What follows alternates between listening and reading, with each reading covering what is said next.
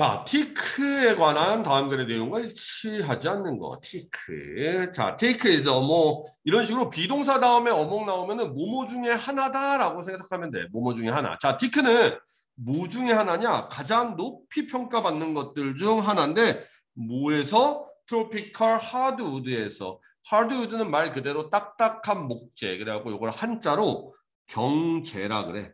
아이자 써갖고 경제.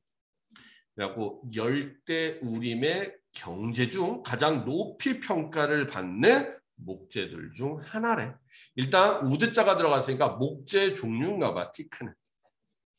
자, it is native to India, Thailand, Vietnam. 자, be native to 하면 뭐뭐가 원산지다라는 얘기니까 그것은 인도, 태국, 베트남이 원산지래.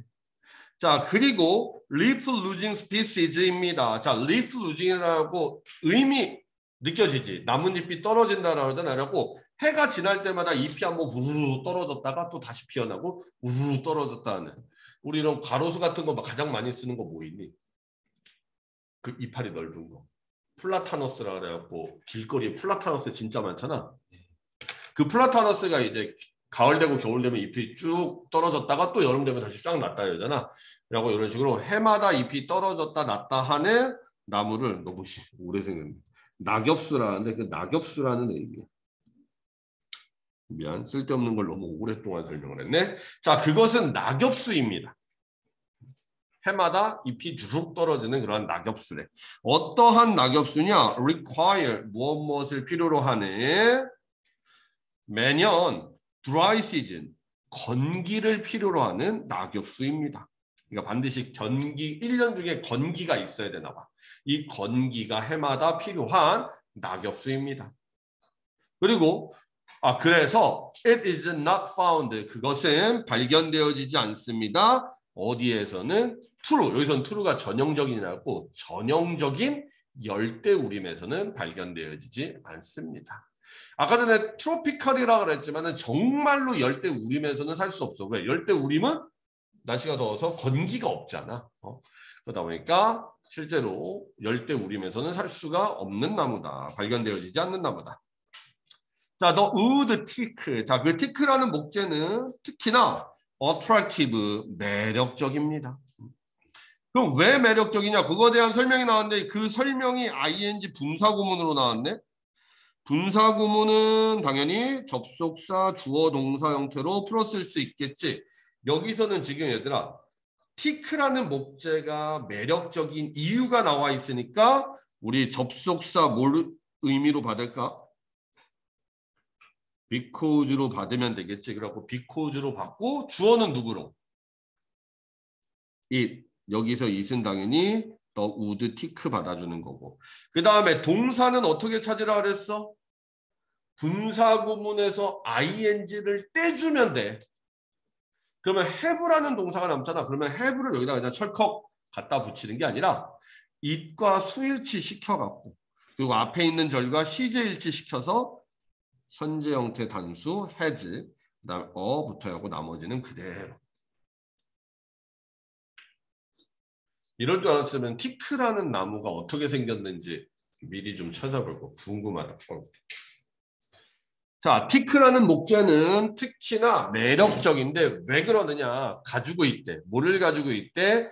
금색 또는 붉은색이 도는 갈색을 가지고 있기 때문이래. 그러니까 붉은 빛이 띠는 갈색 또는 금색을 띠다 보니까 나무가 아주 매력적인가 봐. 자, 티크 is strong. 티크는 강합니다. 그리고 make it a valued wood 그것이 valued wood 가치 있는 목재로 만들어 줍니다. 어디에 있어서 선박 제조에 있어서 여기서 지금 make 이것도 분사구문 그 뒤에 나오는 목적어 그다음 목적 보였어. 라고 그것을 가치 있는 목재로 만들어 줍니다. 뭐 하는 데 있어서 선박 제조하는 데 있어서. 그러니까 아주 강한 목재다 보니까 나무 같은 거 만드는데 아주 유용하게 쓸 수 있나 봐. And 그리고 for high quality furniture 하니까 고품질의 가구를 위해서도 역시나 사용되어질 수 있대. 자, one problem with harvesting teak. 자, 문제점도 나오네. 하베스팅 티크 하는 데 있어갖고 한 가지 문제점은 하베스트 하면 우리 추수하다라는 의미로 알고 있잖아. 목재를 추수한다는 건 뭐겠어? 목재를? 그렇지. 뭐 벌목한다는 의미겠지. 자, 목, 그 티크라는 목재를 벌목하는 데 있어서 한 가지 문제는 is that, that 이하에 있는 내용입니다. 그 목재가 너무 댄스하다는 거야. 이게 문제래. 댄스하다는 건 뭐하다는 얘기냐면은 밀도가 높은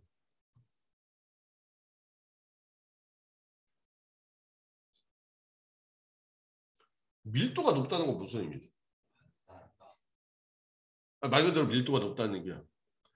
그러다 보니까 물 같은 데다가 놔두면 어떻게 되겠어? 어, 그렇지. 자, 소대. 요거서는 우리 최근에 소대 많이 나왔었는데 그래 여기서는 뭐뭐 하도록 뭐뭐 하기 위해서가 아니라 그래서라는 의미야. 자, 밀도가 높습니다. 그래서 when 뭐뭐 했을 때 그것이 처음 failed 했을 때 자, fail이라는 단어가 배다라는 의미 있거든. 그리고 failed 하니까 베이다라는 얘기지. 그 목재가 베어져서 그것이 뭐하지 않으면은 건조되지 않으면 it sinks in water. 그것은 물에 sink 가라앉습니다. 그러니까 배자마자 바로 건조를 시켜줘야 되나 봐. 그렇지 않으면 그냥 목재가 물속으로 가라앉아 버립니다. 자, it cannot be moved out of forest. 자, 그것은 숲 밖으로 운반되어질 수 없습니다. 무함으로써는 운반되어질 수 없느냐? floating down rivers 함으로써는 그러니까 강에 띄어서는 운반되어질 수 없습니다. unless 뭐뭐하지 않는다면. 당연히 뭐하지 않으면 운반되어질 수 없겠어. 그렇지. 건조되지 않는다면 강에 띄어서 운반되어질 수 없습니다. 그러니까 일단 먼저 배고 건조를 시켜야지만 강을 통해서 운반을 시킬 수가 있다는 내용이네. 자, 그러면 이두 질문에 대한 거를 또 우리 정리를 해보도록 합시다. 뭐 너무 없으니까 이런 것도 체크한다. 자, prized 높이 평가 받는이라는 개념이기 때문에 prized가 되는 거지. 그 다음에 요 species 오해하면 안 돼 얘들아. species하고 얘는 생겨 먹은 게 S가 붙어 있는 애야. 얘 복수라고 생각하면 안 된다. 그럼 require에 S가 빠져야 된다라고 오해할 수 있어. species가 단수기 때문에 require에도 S가 붙어 있는 거고 그 목재는 당연히 발견되어지는 존재겠지. 그러다 보니까 이제 수동태로 나오고 있네. 그다음에 분사구문. 그다음에 메이킹도 분사구문. 그리고 목적보호가 메이크 다음에 목적보호가 명사가 나오면은 목적어를 목적보호 목적보호로 만들다라는 의미가 된다. 그 다음에 요 대은 접속사 대.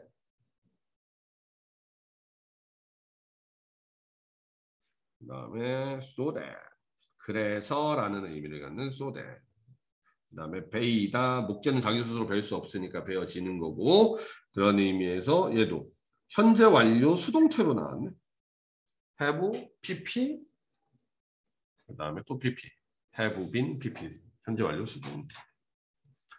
그 다음에 unless, 뭐뭐하지 않는다면 이라는 의미죠.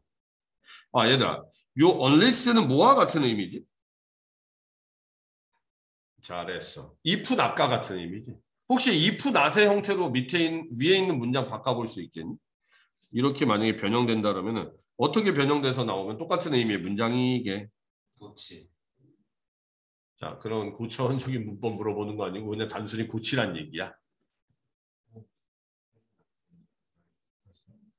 야 답을 얘기하면 어떡해. 얘네들 지금 다 못 쓰고 있는데.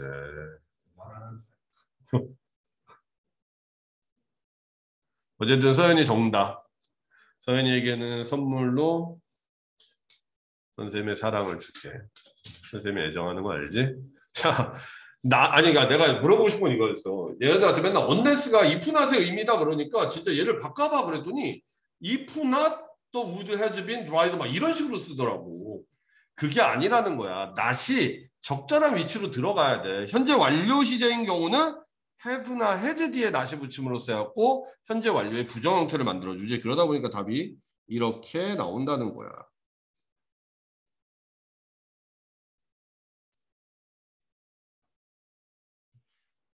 얘를 굳이 내가 써주는 이유는 다시 한번 설명하자면은 이거를 그냥 풀듯이 공부하는 애들의 단점이 뭐냐면은 여기에 unless가 나왔다는 걸 알아.